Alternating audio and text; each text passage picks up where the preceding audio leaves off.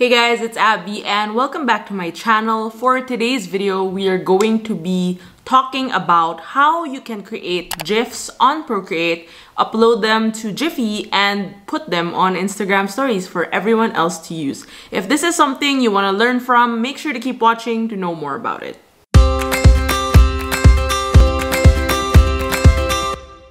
So if you're new to GIFs, don't worry, I'm also relatively new to the idea of making GIFs. I started learning GIFs when I was watching Bardot Brush's video on how to animate using Procreate, but I only got into the hang of it recently, so I wanted to share with you how I do this process.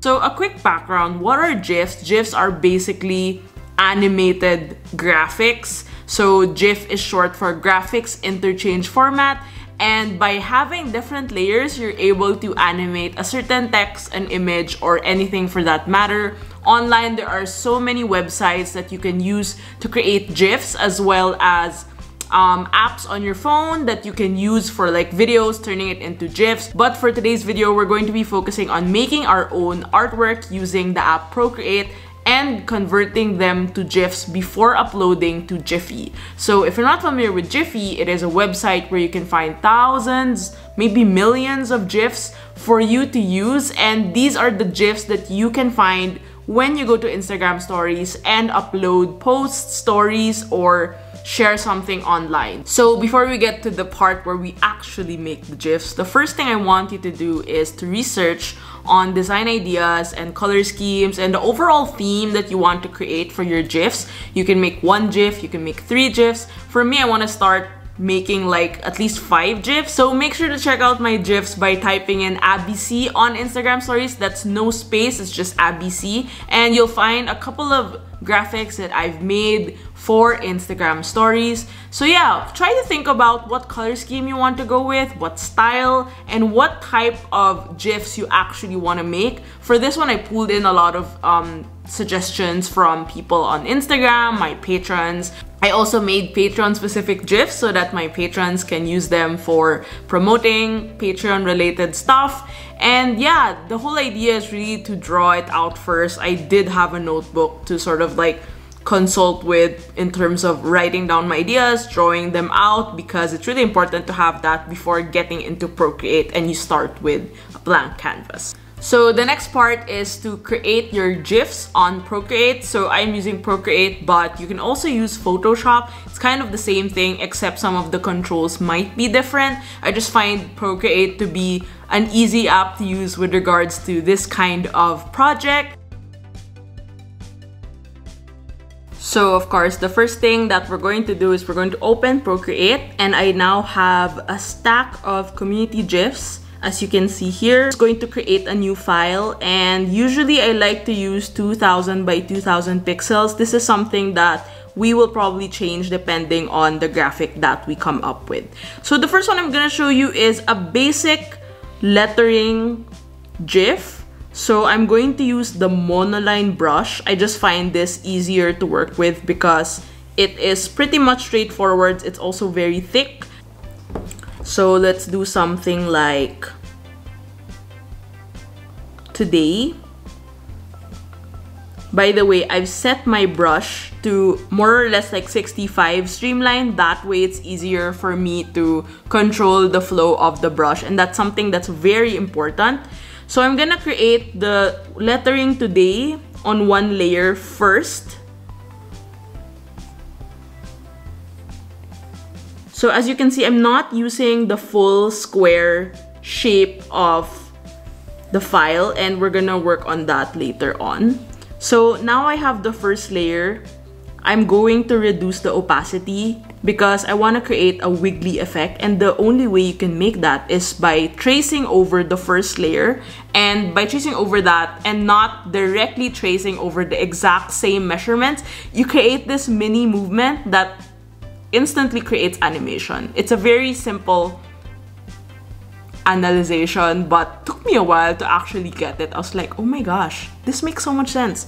So the next layer, I am going to trace over it, but I'm not going to make sure that it's directly on top of it. You know, it can always be a bit to the side and that way it also creates character for your text.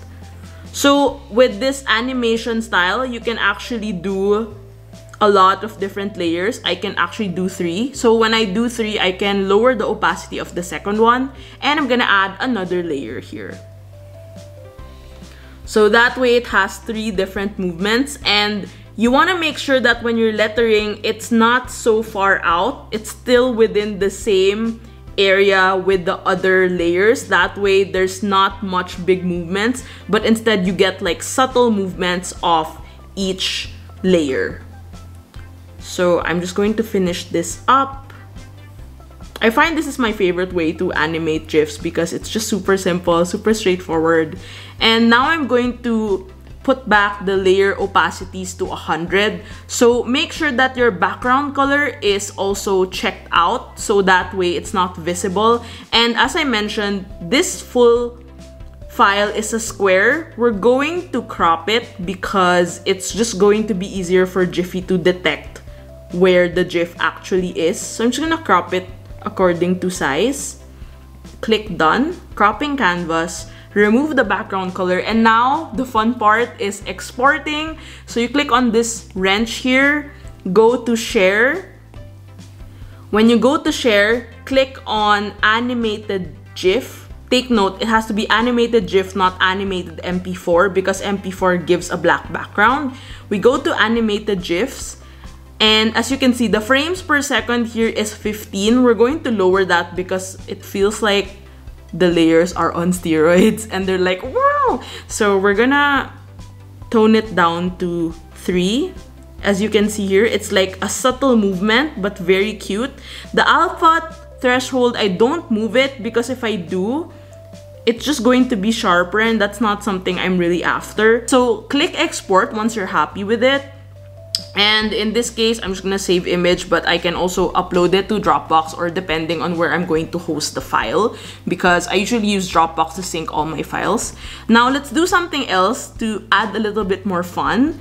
I'm going to change the colors of the other layers. So let's try an orange color for the second layer. And for the third layer let's do a green.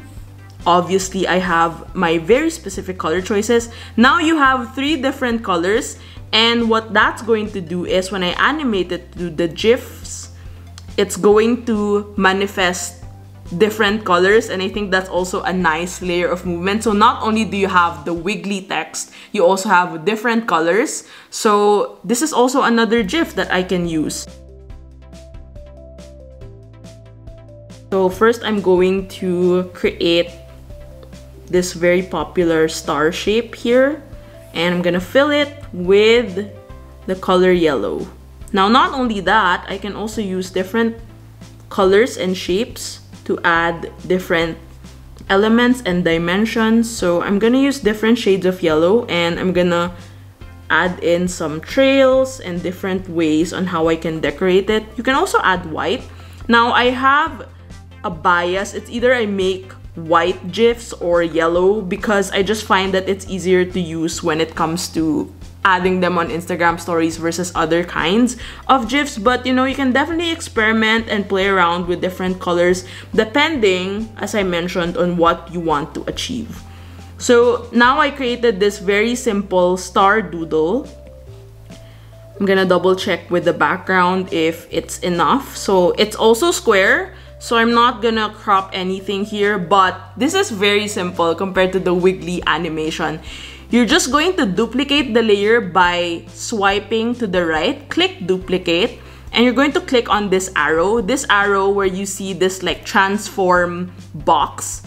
You're going to hover towards the green part and just move it to the left or to the right. So it's going to make this like little moving effect. You know, it's simple, subtle animation, but it does the trick.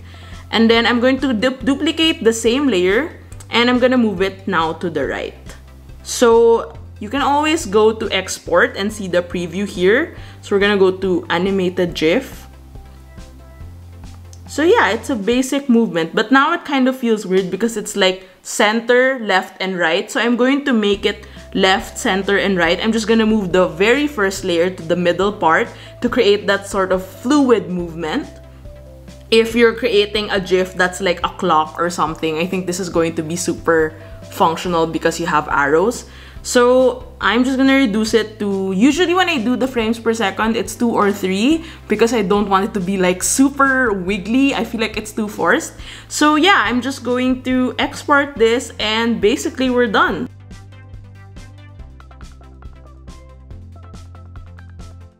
So when you go on Giphy, you first have to apply for an artist or brand channel depending on what track you want to go. But I applied for an artist channel and before you get to apply to an artist channel, you have to upload five original GIFs. So let's talk about the uploading process first. So it's pretty simple and straightforward. Just click upload, add in your file. You can also make a GIF, I believe, right on Giphy, but I just like making it in advance just so I have full control in what it looks like. Once I upload the GIF, um, you now have the liberty to add hashtags and a source. So if you want to promote a certain website or your Instagram account or your TikTok, make sure to add that in the link, in the source link. I highly suggest adding as much hashtags as you can. For me, of course, I added the basics like ABC, always be creating, and depending on what I'm going to be designing, I will make sure to add relatable hashtags. For example, arrows, stars, fun, create today, and stuff like that. That way, when people search for your GIFs, yours will be on the top or at least at the first 10 or first 20 that people will find.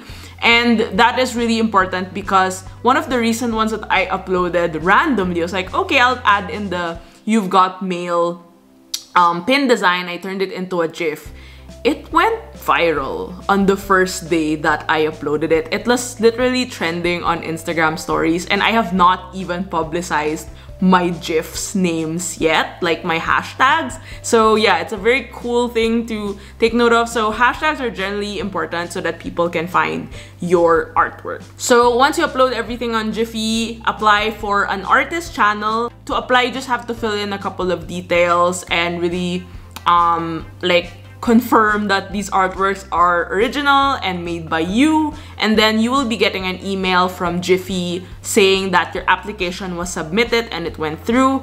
Just wait for a good like two to three days before Giphy gets back to you and gives you the go signal to say that you are now an artist channel which is cool. It's like, oh now I'm verified and Giphy knows that I exist and that I can upload more GIFs. So basically after that, it's just smooth sailing. Usually when you upload a GIF, do know that it will take at least one to two days for the GIFs to appear on Instagram stories. I think we're all like very impatient. Like once we upload a GIF, you're like, it has to be on Instagram stories. No, it's not that way. So it takes a while to show on Instagram stories. One thing I want you to remember and take note of is sometimes what you upload on Giphy looks okay, but when you go to Instagram stories, it might look a little blurry or pixelated. Usually during that time, I like to edit my graphics, re-upload. I do, I'm very OC guys. I just find like if I zoom in or like enlarge the GIF and it's very pixelated, I'm like, I feel so bad that I can't use it. One thing that I also would like to remind you as I mentioned earlier in the demo